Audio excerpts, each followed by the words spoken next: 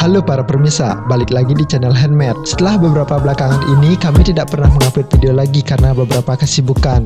Jadi kami mohon maaf kepada kalian dan kami berjanji untuk memberikan selalu motivasi atau pengetahuan-pengetahuan yang lebih kepada kalian di video-video selanjutnya. Nah, untuk mempersingkat video ini dan mengirit paket data kalian, jadi di video kali ini aku akan menunjukkan kepada kalian keadaan zaman kali juga berdasarkan ramalan Bhagavata Purana. Nah, bagi kalian yang belum tahu Bhagavata Purana itu apa, Bhagavata Purana adalah cerita setelah terjadinya perang Mahabharata atau setelah perang di Guru Kesetra. Kemudian lahirlah putra dari Krishna dan putra dari Arjuna. Maka cerita dari anak-anaknya dimasukkan ke dalam Bhagavata Purana. Nah, berikut ini ciri-ciri keadaan di zaman Kali Yuga berdasarkan ramalan Bhagavata Purana yang tentu kalian sudah bisa rasakan di zaman saat ini. Nah, tapi sebelum kita lanjut, bagi kalian yang baru masuk ke channel ini atau kalian yang sudah berkecimpung beberapa kali di video ini, silahkan tekan tombol subscribe karena kita akan membagikan ilmu-ilmu pengetahuan kepada kalian. So, jangan ragu untuk klik tombol subscribe-nya. Kalau enggak, retak tulang kalian. Bercanda teman-teman. So, langsung saja kita mulai setelah yang satu ini.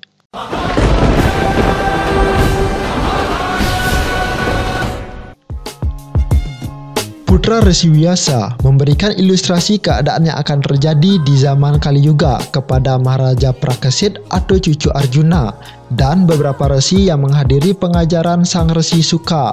Percakapan Sang Resi kepada hadiran di sana terjadi pada awal zaman Kali Yuga, yang di mana zaman Kali Yuga itu dimulai pada saat Sri Krishna sudah meninggalkan permainan rohaninya di dunia, yaitu pada tanggal 17 atau 18 Februari 3102 sebelum Masehi.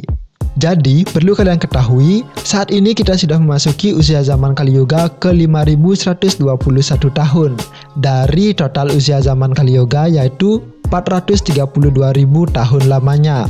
Saat zaman Kali Yuga akan berakhir, maka Wisnu akan turun dalam lilionya sebagai awatara Kalki. Nah, kira-kira totalnya berapa tahun lagi ya zaman Kali Yuga akan berakhir? Apakah kita masih hidup atau kita sudah berinkarnasi? So, kita tidak tahu masa depan. So, mari kita lanjut lagi. Nah, berikut ini ciri-ciri keadaan di zaman Kali Yuga berdasarkan ramalan Bhagavata Purana. Yang pertama, Kemudian, wahai raja, agama, kebenaran, kebersihan, toleransi, belas kasihan, dan lamanya kehidupan, kekuatan fisik dan ingatan semua akan berkurang hari demi hari karena pengaruh kuatnya zaman kali.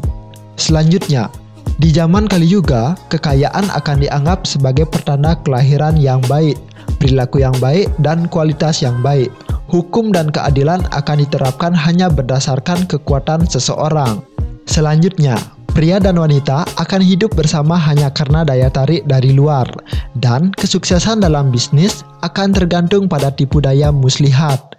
Wanita dan pria akan dinilai berdasarkan keahlian seseorang itu dalam berhubungan seks, dan seorang akan dikenal sebagai Brahmana hanya karena ia memakai tali suci. Selanjutnya, posisi spiritual seorang dilihat hanya berdasarkan simbol-simbol di luar, dan atas dasar yang sama, orang akan berganti keyakinan ke agama satu ke agama yang lainnya. Kecakapan seseorang akan dipertanyakan secara serius jika ia tidak mendapatkan penghasilan yang layak, dan orang yang sangat pintar dalam permainan kata-kata akan dipandang sebagai sarjana terpelajar. Oke, selanjutnya, seseorang akan dinilai tidak suci jika dia tidak mempunyai uang, dan kemunafikan akan diterima sebagai kebajikan. Pernikahan akan diatur hanya dengan persetujuan lisan, dan seseorang akan berpikir dia pantas untuk tampil di depan umum jika dia sudah mandi. Selanjutnya, tempat suci akan dianggap tidak lebih dari tempat penampungan air yang terletak di kejauhan, dan keindahan akan dianggap tergantung pada gaya rambut seseorang. Mengisi perut akan menjadi tujuan hidup, dan orang yang berani berkata-kata akan diterima sebagai orang yang benar. Dia yang dapat memelihara keluarga akan dianggap sebagai orang yang ahli dan prinsip-prinsip agama hanya akan dipatuhi demi reputasi belaka. Nah, di sini aku mau jeda dulu. Ada kata-kata yang menarik. Prinsip-prinsip agama hanya akan dipatuhi demi reputasi belaka. Apakah kalian sudah merasakan di zaman kali ini? Jika kalian sudah merasakan, berarti kalian sudah memasuki zaman kali juga ini. So, saranku bagi kalian yang sedang menonton video ini, tolong resapi, baca, dan pahami dan rasakan apa saja hal-hal yang sudah terjadi dengan kalimat-kalimat berikut ini, agar aku nggak banyak bacot di sini teman-teman. Dan selanjutnya, berikut ini ciri-ciri yang sudah terjadi atau yang akan terjadi di zaman kali juga. Warga akan sangat menderita karena cuaca dingin, angin, panas, hujan, dan salju. Mereka akan tersiksa lebih lanjut oleh pertengkaran, kelaparan, kehausan, penyakit, dan kecemasan parah. Selanjutnya, durasi maksimum kehidupan manusia di zaman Kali Yuga akan menjadi 50 tahun. Dan pada saat zaman kali berakhir, tubuh semua makhluk akan sangat mengecil ukurannya, dan prinsip-prinsip agama mengikuti warna serama akan hancur. Jalan Wedah akan sepenuhnya dilupakan dalam masyarakat manusia, dan apa yang disebut agama sebagian besar bersifat ateistik. Raja-raja sebagian besar akan menjadi pencuri, pekerjaan manusia adalah mencuri, berbohong, dan melakukan kekerasan yang tidak perlu. Dan semua kelas sosial akan dikurangi ke level sudra. Sapi akan menjadi seperti kambing, petapa rohani tidak akan berbeda dari seorang berumah tangga. Sebagian besar tanaman akan berukuran kecil dan semua pohon akan tampak seperti pohon kerdir. Awan akan penuh kilat, rumah-rumah akan tanpa keselarasan, dan semua manusia akan menjadi seperti keledai. Pada saat itu, personalitas tertinggi Tuhan Yang Maha Esa akan muncul di bumi, bertindak dengan kekuatan kebaikan spiritual murni. Dia akan menyelamatkan agama abadi. Nah, seperti itulah yang terjadi di zaman Kali Yuga.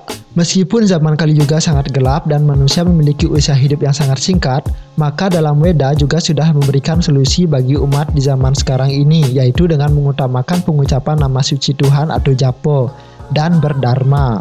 Hal yang sama dapat kita temukan pada ajaran agama lainnya juga, bahwa rahasia zaman Kali Yuga adalah mengucapkan nama-nama suci Tuhan. Dan pada zaman Kali Yuga saat ini, bukan dengan cara lain untuk mencapai keinsafan diri selain dengan mengucapkan nama suci Tuhan, mengucapkan nama suci Tuhan, mengucapkan nama suci Tuhan. Nah, perlu kalian ketahui, untuk menyelamatkan diri kalian dari ikatan zaman Kali Yuga ini, yaitu dengan mengucapkan nama suci Tuhan. Dan pada zaman Kertayuga, tapalah yang merupakan kebaikan paling utama. Dan di zaman Dua Para disebut yatnya lah yang paling utama. Dan di zaman Kali Yuga ini, Dharma lah yang paling utama. Dan ini disampaikan dalam Menawa Dharma Sastra 1.86. Jadi kita memiliki tiga kewajiban. Yang pertama adalah tapa, yang kedua adalah yatnya, dan yang ketiga adalah dharma. Tapa contohnya adalah menahan diri untuk melakukan hal-hal yang negatif seperti tidak mencuri, tidak berbohong, dan tidak lain-lainnya.